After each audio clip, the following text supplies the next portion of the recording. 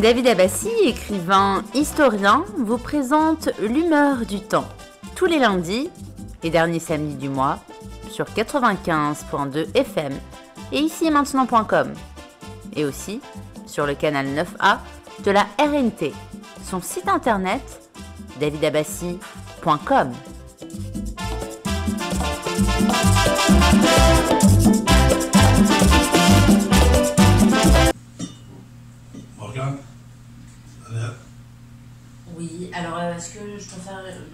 poser une petite question Bien sûr, à qui Alors, euh, David Abbassi, euh, vous avez, euh, vous êtes en fait arrivé plusieurs fois de donner des pronostics sur l'évolution de certaines personnalités avant qu'ils entrent dans le monde de la politique et deviennent célèbres sur cette même antenne, sur la radio ici et maintenant. En 2001, vous disiez à Madame Hidalgo qu'elle pouvait devenir maire de Paris alors qu'à ce moment-là, eh bien, elle n'était pas encore élu euh, municipal dans le 15e. En 2002, vous avez reçu euh, José Bové, euh, syndicaliste.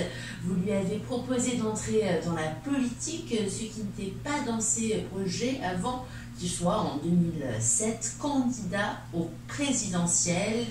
Et puis avec Robert Ménard, ancien directeur de Reporters sans frontières, c'était un peu la même histoire. Vous avez ce genre de pronostic.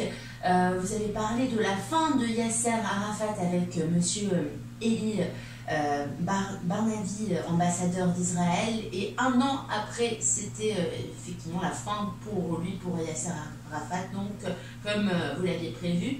Et le plus intéressant, c'est comme l'histoire euh, que, vous, nous avez racontée tout à l'heure avec le, le président Macron en avril 2016, lors de sa conférence au CRIF. euh, vous vous êtes adressé publiquement à lui en lui disant qu'il sera euh, le futur président de la République et, il vous a répondu euh, qu'il n'en avait pas l'intention car il n'était pas candidat mais euh, huit mois après il s'est présenté aux élections et vous euh, la suite.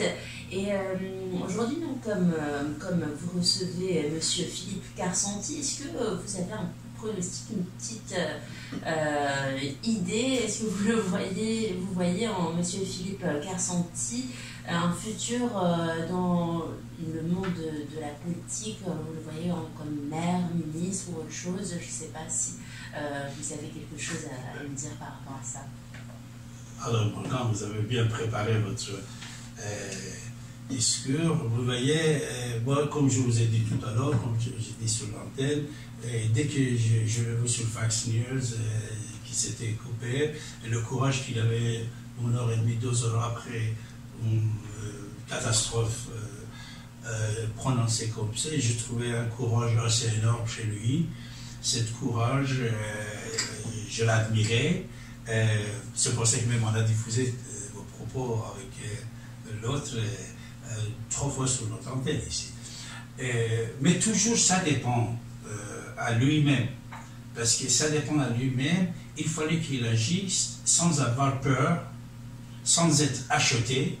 Parce que le, complot, moi je crois qu'on n'a pas pour parler.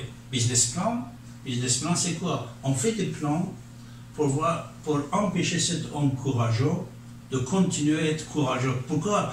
Puisqu'il a des concurrents. Ce n'est pas seulement œil dans son parti politique, à droite à gauche.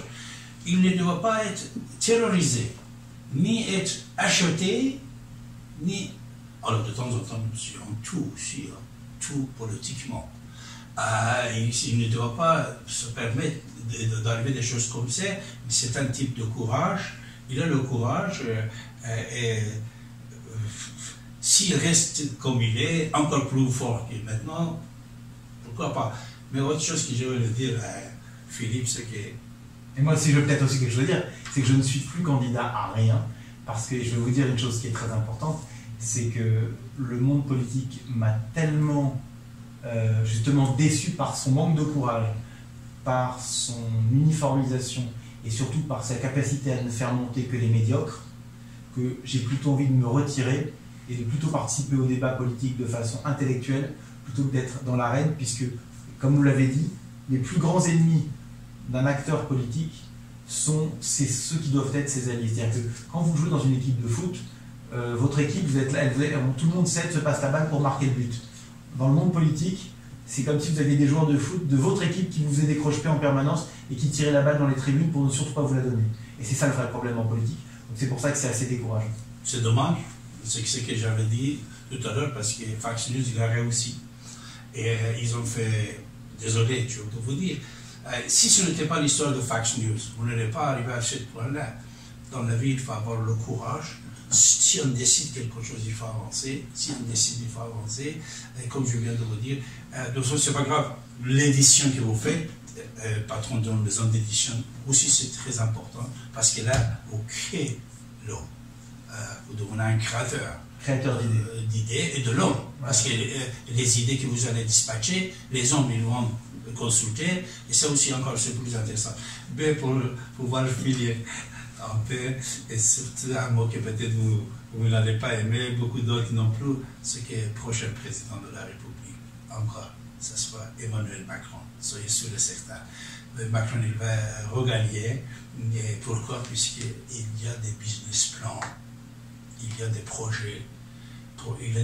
Pour, la France, pour l'Europe. C'est un rebelle, mais il fait ce qu'il peut. Parce que comme vous êtes un élu, de Neuilly par exemple, vous avez certaines limites que si vous quittez cette fonction, vous allez avoir plus de liberté. Imaginez-vous que vous êtes le maire, ou vous êtes le ministre, quand, euh, quand Bendine est voir euh, Macron, il est venu voir tout de suite, il a dit je vais prendre la place de ce personnage, je vais devenir ministre. Macron, il a réfléchi un peu après, il a dit écoute, Daniel, si tu es ministre, tu n'es plus Daniel Combendine, hein? tu n'es plus libre.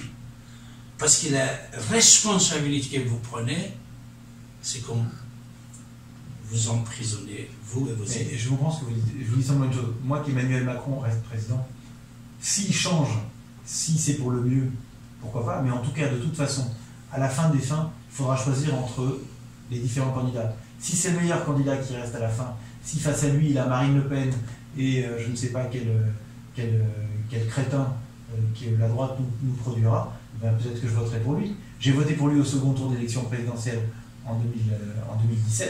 Euh, la question est vraiment pas. Moi, je, suis un pragmatique. J'insiste, ça dépend de ce qu'aura fait la personne et de ce qu'elle proposera.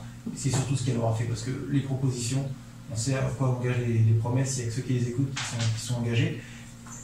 Aujourd'hui, moi j'attends d'Emmanuel Macron et là-dessus on revient sur le, cœur de, notre débat, une lutte réelle contre l'islam politique. Ah. Et, surtout, surtout, surtout, surtout, je dirais, euh, arrêter de manipuler l'opinion de façon aussi cynique pour faire montrer Marine Le Pen, monter Marine Le Pen d'un côté, pour ne se montrer que contre le rempart face à elle. Parce qu'à ce petit jeu-là, il ne faut pas oublier une chose, c'est qu'il peut perdre aussi. Il peut aussi perdre. Tout le monde peut perdre à ce jeu.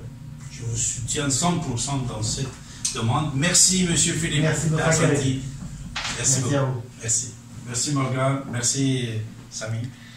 Et à bientôt.